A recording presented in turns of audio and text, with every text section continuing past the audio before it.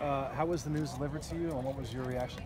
Uh, Coach Helton called me into his office with Coach Harrell there, and uh, you know it's it's always uh, it's just nothing changes for me. Just come out here and just compete and do everything I can do.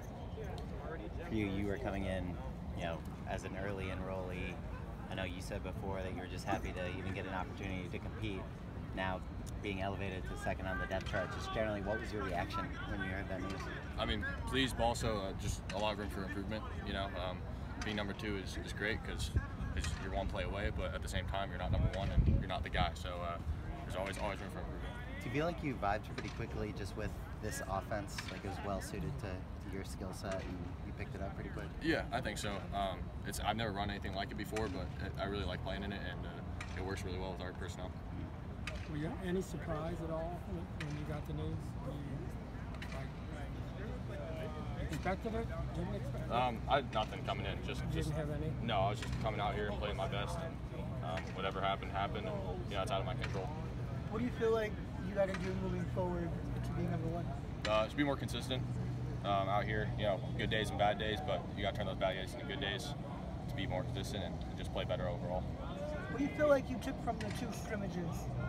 Um, just learning to play smart and not make any mistakes, like cash dropping mistakes. You know, um, not take any risky throws. You know, in practice it's easy to throw a pick and move on because you get the ball back. But in a scrimmage, it's, it's a live environment, so you, you can't have any turnovers. And a situational ball too. You can't on third and one you got to hand the ball off and stuff like that. Having that spring experience, do you feel like over these last few weeks you've been able to really settle in and kind of show everything you wanted to, and maybe that might have helped? Yeah, that definitely helped a lot. Um, I mean, coming in this fall, you didn't have you're kind of putting everything more into full speed. And in the spring, we have, you know, we don't have as many practices either. We have a day in between, so um, a lot more time to understand the offense.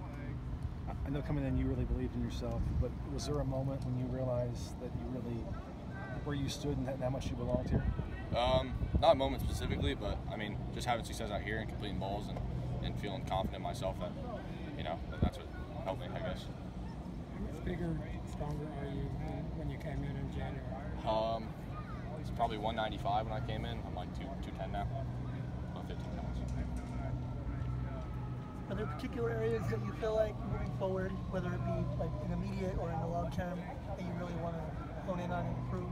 Um, just like consistency, as I said before. Yeah. And there's that comes with a lot of different things, but I think that's going to come with a lot more reps and experience too on the field. Like this is my first year here, so um, that's going to come with time.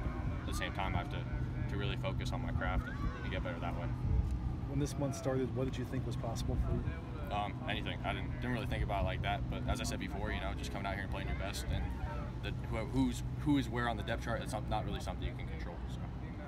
Let's talk to people back home, and they see how this turned out. What do they tell you? What kind of reaction did you get yesterday? Um, I guess they're they're happy for me, but uh, at the same time, that was kind of a weird deal because you know people are saying congratulations, and you, you want to be the guy, you know. So. Um, but hats off to everyone else. You know, Matt and Jack really, really handled it really well for, for uh, their situation, and uh, you know, JT's JT's done a really good job as well.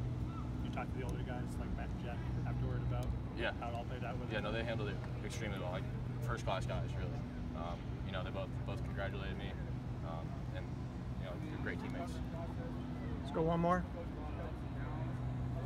Good. JT, you know, giving you any advice considering you know you, now you're in a pretty premier role, you know, backup when you're a true freshman? I mean, just just normal stuff and uh, nothing crazy, but you know, just on the field and help me hone my craft and become better as a, as a football player, I think most.